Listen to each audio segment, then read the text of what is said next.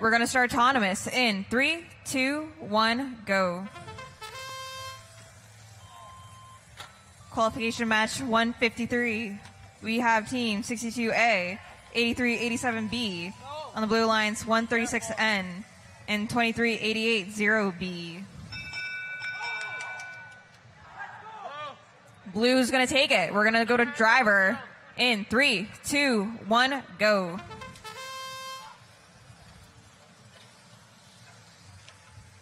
One thirty six N with a mobile goal.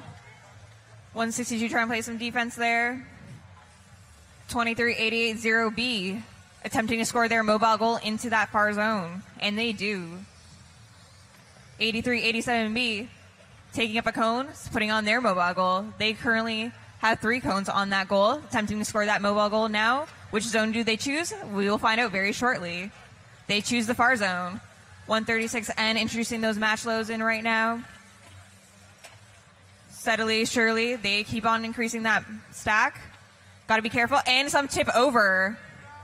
But that's okay. We have one minute left in this competition. They can make up for that. 83 87B introducing those match loads now.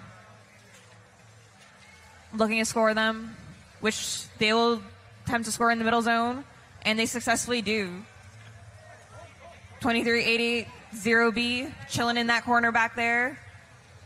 Looking at some cones, swinging them around. We have 30 seconds left in driver control.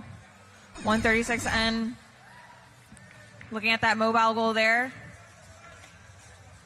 Looking to pick it up possibly. 62A scoring on that stationary goal. Trying to wreak some havoc around. You have 15 seconds left in driver control. 10 seconds left in driver control.